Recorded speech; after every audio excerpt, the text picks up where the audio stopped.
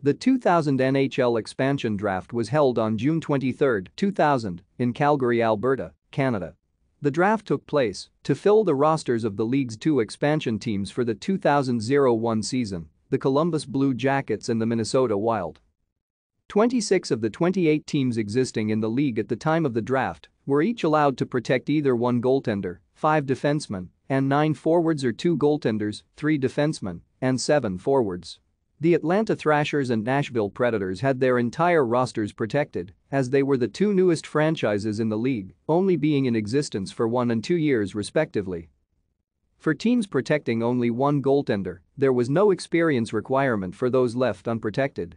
For teams protecting two goaltenders, each goaltender left unprotected must have appeared in either 10 NHL games in the 1999-2000 season or 25 games in the 1998-99 season and 1999-2000 seasons combined. A goaltender had to be in net for at least 31 minutes in each game for the game to be counted against these totals. At least one defenseman left unprotected by each team had to have appeared in at least 40 games in the 1999-2000 season or 70 games in the 1998-99 season and 1999-2000 seasons combined. Thank you for watching. Like and subscribe if you would like to view more of our videos. Have a nice day.